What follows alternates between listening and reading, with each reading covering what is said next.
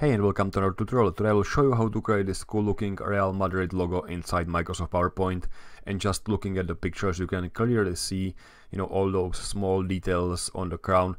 It will be a little bit more complex today. So the left one is an image, the right one is the logo created inside Microsoft PowerPoint. So let's get started. I will start with a blank presentation where I already have this logo pasted in and I will open the format ribbon and I will select the format colors and I will select this uh, light gray version of the logo just so it's not getting an array. And I will most likely start with the crown itself just because you know it's the probably the most complicated part of this logo. So I will zoom in as much as I can like this. And I will start by you know maybe drawing all those small circles. So I will insert shape oval and I will hold the shift key on my keyboard just so I'm drawing a circle not an oval like this okay this seems to be like a right size so I will just put it in here and then I will duplicate it by either dragging it with my control key pressed on my keyboard or I can press the control D shortcut which will duplicate it as well. It will actually move it to the same distance from the previous one but it's not helping us too much because as you can see we still have to give it some like a curvature so it's not following a curve but uh, a line a straight line it's following a curve instead anyway so it that could be maybe a way how to make it a little bit easier just by you know holding the control D button uh, shortcut on your keyboard. And after it's being duplicated you can use your arrow keys on your keyboard to move it to the right spot just like this and just because it's somehow you know symmetric you, we can only draw the left side. So and of course the the middle part. So that's the middle part again I will duplicate it two more times. Then I will duplicate it one more time and I will make it bigger. So I will resize it ho holding my control and shift key on my keyboard and make it bigger. Maybe not that big. Okay this seems about the right size and of course duplicate it a few more times. Okay what I will do now is I will open the selection pane and I will most likely select all of those circles and just copy paste it. I will group it. I will also flip it vertically or horizontally sorry horizontally move it like this. And I will ungroup it just so I have all those elements as uh, separate ones. Now most likely I have those in bit you know middle points being duplicated so I will select uh, them the, one of those instances and delete them. Okay, so this is like the base shape which we will use for the outer shape. How we will do it is we will select everything. I have to draw the selection rectangle from this you know, left side like this. Make sure that the picture is not being selected. I will group everything holding my control, holding the control G uh, shortcut on my keyboard. I will copy paste this, move it to the same spot. I will hide one of those groups and I will ungroup this one. So I will select group ungroup. And now what I will do is I will resize all those shapes. So every shape will be a little bit bigger. And I will you know basically drag any of those uh, you know any of those uh, resize handlers holding the control and shift key on my keyboard and watch what happens. You know all the shapes will get resized and it kind of matches the outline of the crown which is great. So I will maybe increase the transparency a little bit just so I can see the outline of the crown and you can see it's kind of matching which is great. What's not matching are those big circles because those are made from three different pieces so I will get rid of those and I will create this shape from scratch so like this. This is the first part. Second circle and third circle used for the outline like this. I will merge those together so select format merge shapes union and I will duplicate this few more times and rotate it to match the rotation of the uh, below shape. This should be a little bit resized like this. And I will do the same for the left side. So again, I will rotate it a little bit and I will probably reuse this right shape for the left one as well. Okay, what we can do now is we can probably draw the missing parts which is there is one more circle up on top. So I will select insert shapes and insert one more circle in here. There is this cross for which I believe there is a symbol. So there should be a cross symbol in the default shapes. I just have to move the yellow handles uh, yellow handle around to make sure it kind of matches the background uh, shape and then I can continue with the main shape. So we are missing those arcs. We can either use ellipses, uh, but I believe it will be better if we use a shape which is called this one, the block arc.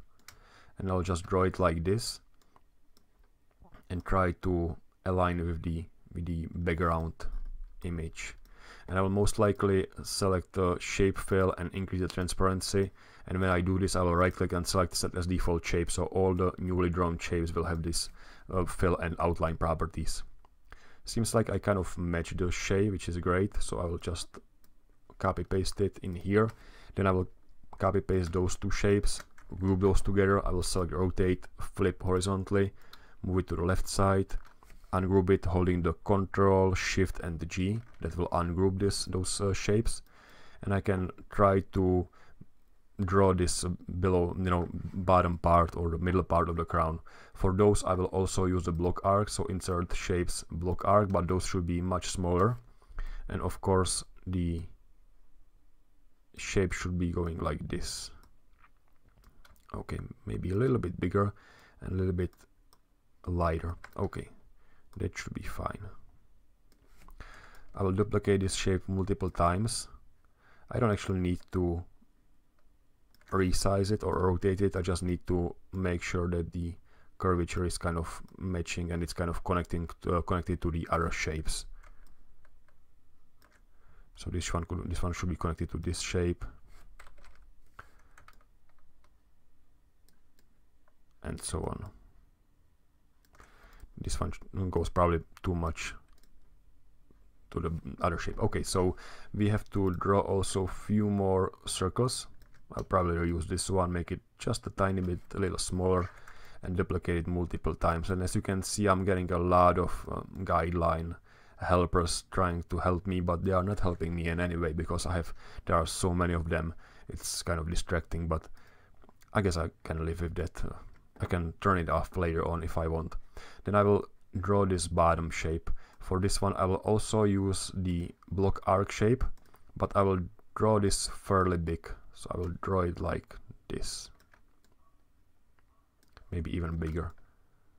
Like this. And then I will make it much lighter. I will zoom in. And try to match the shape.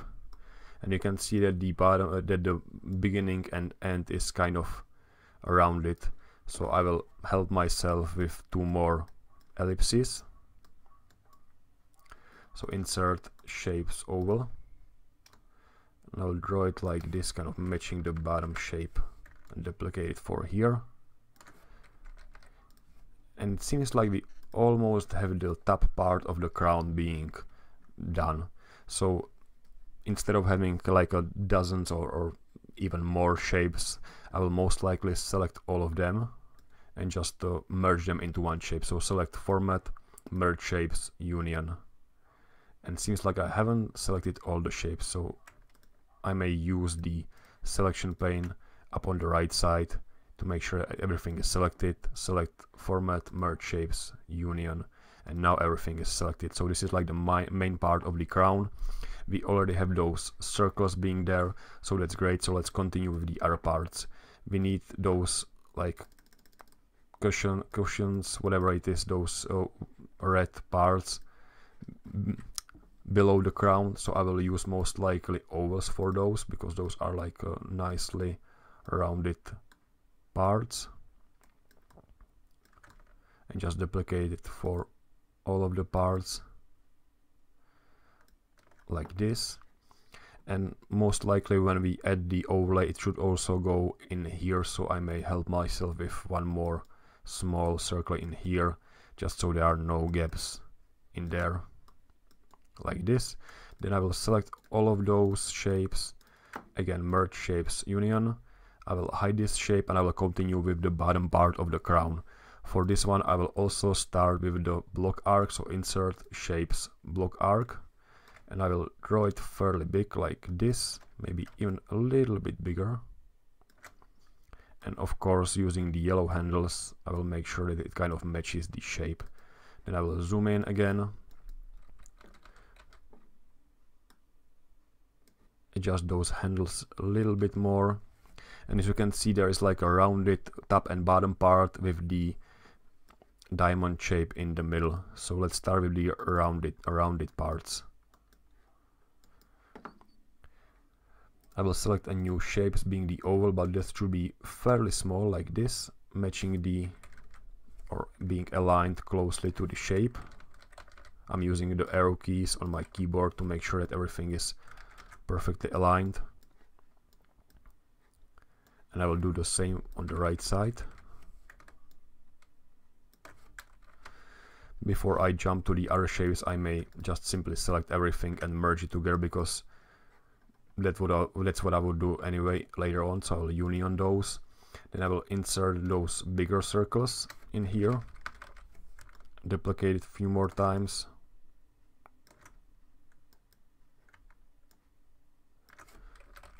and I also need those diamond shapes so insert shapes diamond. I will duplicate it and also rotate it. And it's a good idea to move the rotation you know move the mouse far away from the shape so we have a little bit of more freedom and a little bit of more precision when rotating the shapes. And I need two more resized version of those uh, diamond shapes for the beginning and end of the shape like this.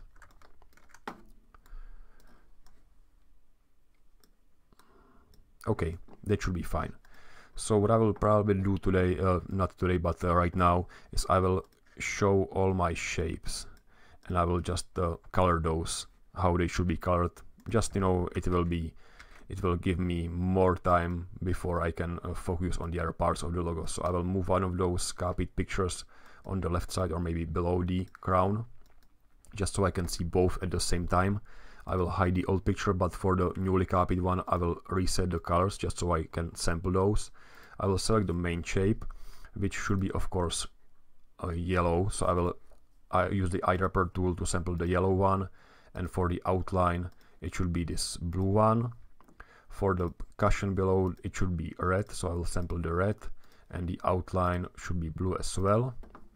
All the uh, circles up on top should be white so I will use the eyedropper tool to sample white and sample the outline of course as well. So sample the blue outline. And now for the bottom part this bottom part should be yellow with the blue outline ovals all the ovals should be white. And I'm sampling the white color even when I can choose the white color but when I choose the white color it no transparency is being kept. So I still have to open the model colors properties and set the transparency back to 0% so it's easier for me to just sample the color and the transparency will be set to 0% automatically for me. So the middle one and the side side uh, diamond shapes should be red so I will sample the red color. The outline is same for all the shapes and those two diamond shapes should be blue.